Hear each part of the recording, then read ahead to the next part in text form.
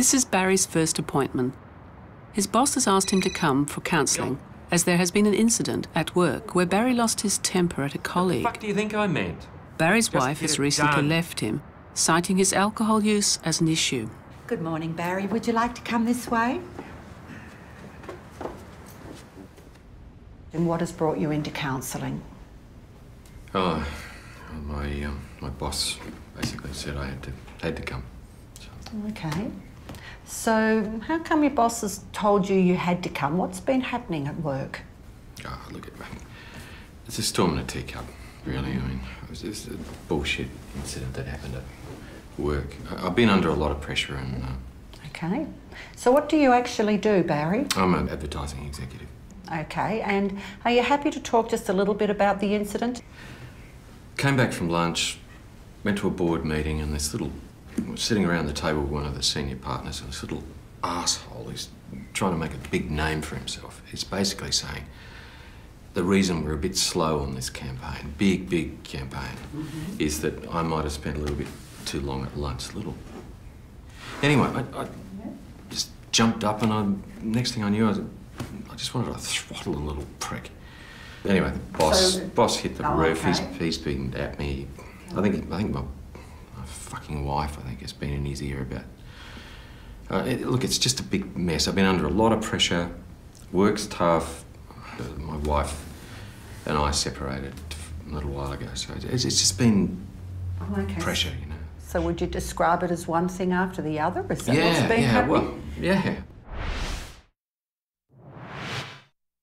Establishing rapport and showing sensitivity to the client's experience is an essential part of the MSE. Jenny acknowledges that Barry is dealing with one thing after another. thing I've done, we've got a beautiful home, you know. My wife has got everything that opens and shuts, you know, and and now, you know, just, just If I can just go back a little bit to the incident and what has brought you into counselling before anything else, what did your boss do? Did he speak to you? Is that what well, happened? he, look, look, alcohol. We, we take people to lunch, you know. we Yes, schmooze yes. them, we wine them, we dine them, right? He knows that. He drinks it. So I have a few drinks with clients. I, you know, I have a few drinks at night. My wife has been in his bloody ear about drinking. He's been complaining about me drinking at, well, not drinking at work, but drinking too much. Okay. It's, it, it, it's, it's pressure, you know.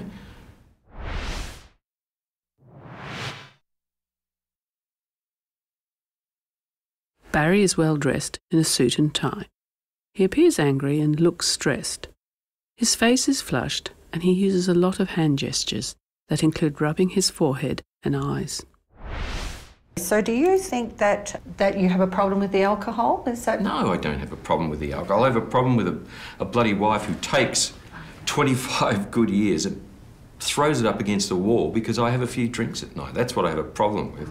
And a boss who Do you drink frequently? I, I have lunch, I have a drink with lunch, I have a couple of bottles of wine at night. It has gone up a bit in the last couple of years. Something happened a couple of years ago and it's been, it's been tough and...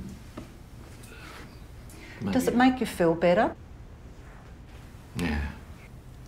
It would be good to have a little bit of an understanding of the fact that you can still be intoxicated in the morning after you've had a large drink. What, in the morning? Mm, absolutely. Unfortunately, um, it takes quite a while for alcohol to get out of the system. I never knew that. And it is, it, is alcohol the only thing that you take, Barry? Do you take any medications or anything at all? No, look, what, like drugs or something? Yeah.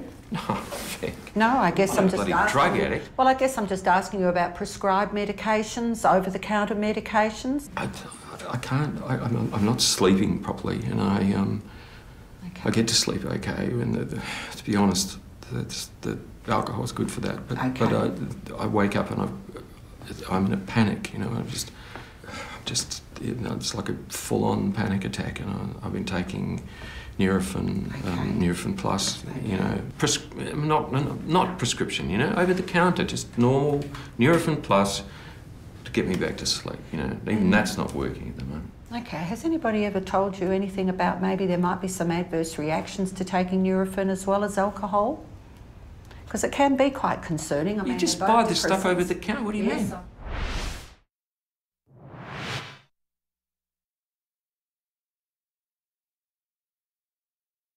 The counsellor has raised two risks connected to Barry's alcohol and medication use. He may still be intoxicated when he drives to work in the morning, and combining Nurofen Plus with alcohol may have health risks. So, what's been happening over the last two years? Well, usual work pressures and things, but uh, um, my um, my brother died two two years ago. We were, we were very Andy. We were very close. We were very close. And can I ask what happened to your brother?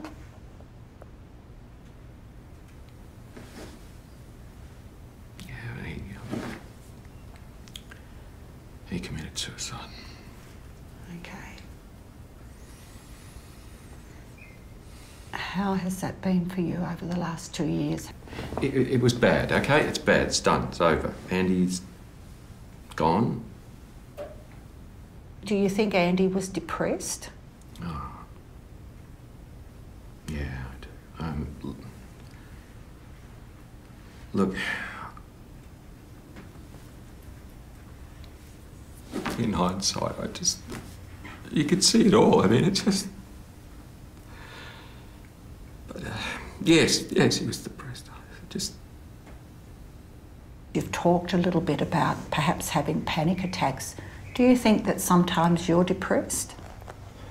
Well, uh, Because, I mean, lots has happened in the last two years. look, I work, you know, I, I function, I, you know, I look after the kids, you know. And, and I understand that, Barry, but I'd just like to know how you're feeling at this moment. I'm feeling betrayed, is how I'm feeling. Absolutely. I'm, I'm feeling as though she's deserted me when the. Okay. But how are you feeling on the inside at this point?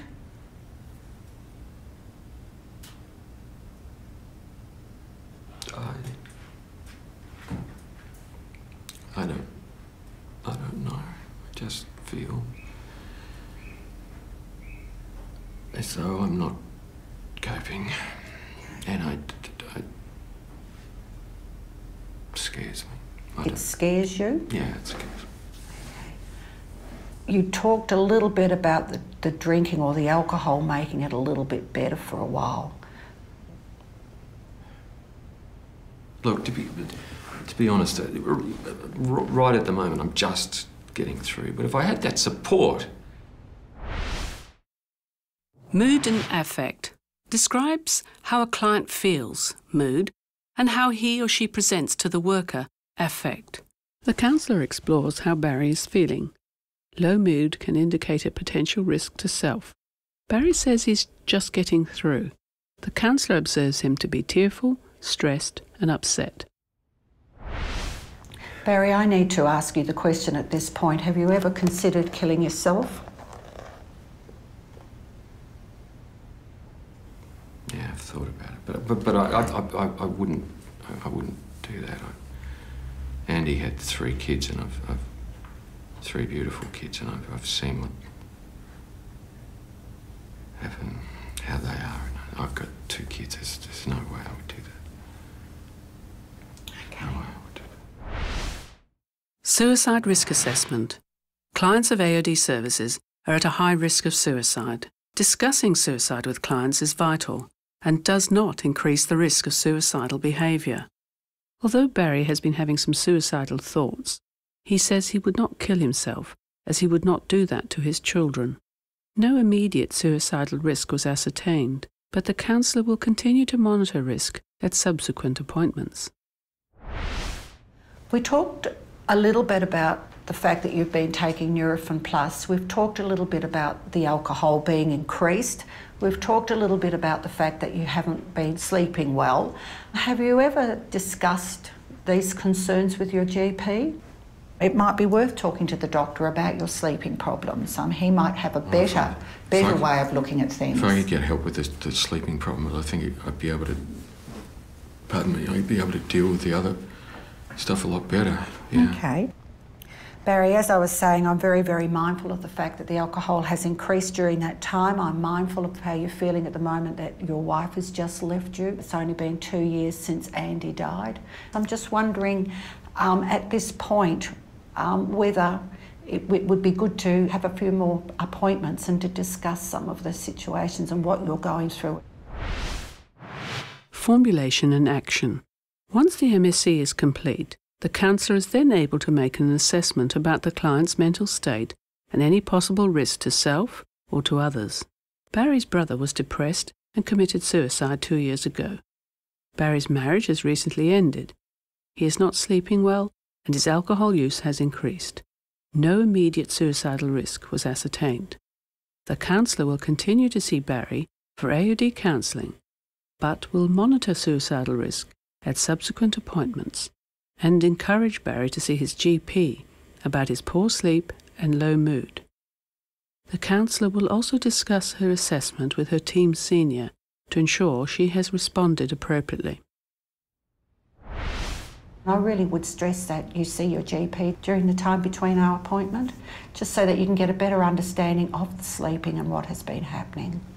How would that be for you? Yeah, I, I think I'd like that, yeah. I'm also um, going to give you this pamphlet. If you're starting to feel stressed in any way during the week, you might like to take advantage of ringing Lifeline. Thank you. Thanks.